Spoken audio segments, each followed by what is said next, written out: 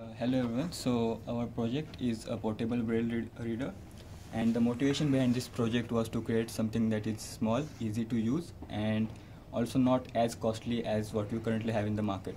So the way it works is a user can send any text over his uh, using his cell phone uh, over the Bluetooth, and we have a Bluetooth module uh, on the device side which talks to the microcontroller uh, using UART channel, and on the device we have six uh, standard braille dots uh, which are placed uh, sufficiently close enough to give uh, enough uh, pressure uh, resolution for, for, on the thumb. And we have this uh, multi-state start stop uh, restart button. We also have second go back button. So if uh, during the course of reading if user, uh, user uh, misses certain characters or certain words then he can press this button and go back in the text uh, we also have this knob to adjust the reading speed and uh, we also have a debugger so we have a particular terminal setup to uh, basically show the characters on the uh, terminal uh, using second UART channel And th- this is this is for debugging, and it wouldn't be used by the by the user. this, right? by- this is Okay. As you can see, we've already loaded uh, a text file onto it uh, by So, sending it from send- the app. Okay, so so so start it up again here, so we can look at it go. Start button, and it's going to actuate the various solenoids. so basically I can uh, place my thumb here and Or two fingers if you, if you want. You can actually just read it with two fingers. And see how the various. You can actually feel these, and you, you can rest your whole hand on the surface without forcing the actuators back. So there's a clean detection of braille dots going on. Yeah, so it's got it's got good power again. Good Yeah, too. Yeah. Looks good in the video so too. I'll now pause for a moment Okay. So we, we have a modified first line of, line of the text to uh, explain certain scenarios. In Braille itself, you can see that there's an I before this letter number seven. The way Braille works is that uh, before any special characters or numbers or capitalization, there are special identifiers that are created uh, in Braille itself, and then put before any transitions to numbers or to from from numbers to lowercase alphabet. And so we encoded that into our actual um, Braille debugger so that you can see that when it's actually actuated on the the solenoids themselves. So basically, when, whenever there is like uppercase character or whenever there is a digit or transition from digit to uh, lowercase character or a certain special characters like at the rate, uh, you will have unique uh, identifier characters. So on the terminal we show it as I, but on the device they are encoded. Okay, so you want to pop the box open now? Show us what's inside.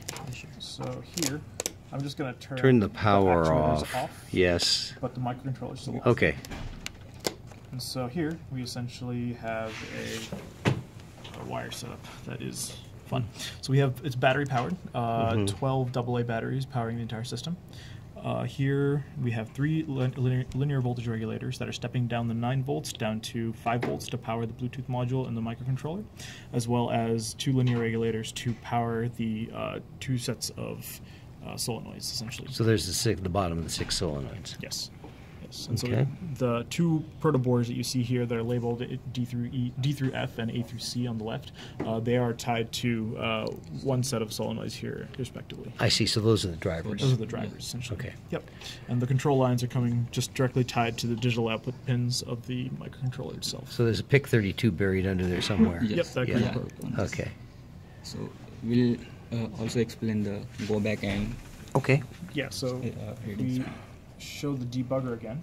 Uh, and close this box up. I'll like start the again and suppose uh, if uh, I want to go back in the text so I'll just wait for the line to roll, roll over or I can press back Uh huh. I see. and Very nice. or uh, I can also like first pause and wait yeah. yeah. and then um, and uh, reduce my reading speed and again start and so now the reading speed is drastically reduced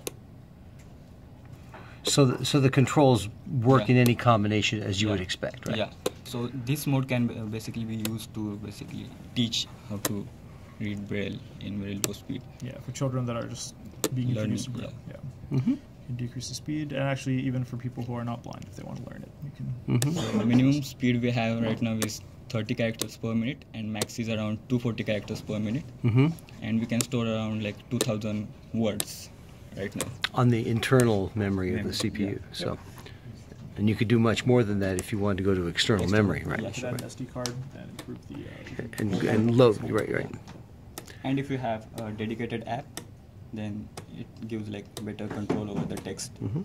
And in future, we might want to use better actuators to reduce. the Smaller, perhaps, more, more. Yeah, so yeah. the idea we have is to use piezoelectrics to Yeah. uh, Mhm. vibrate the dermal layer of your thumb, Mhm. and that way you can essentially uh, feel high. You don't feel high frequency, but you feel low frequency actuation uh, on your thumb that way.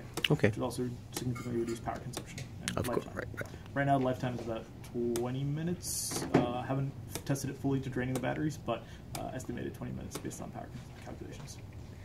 Okay, cool. Thank you. Thank you.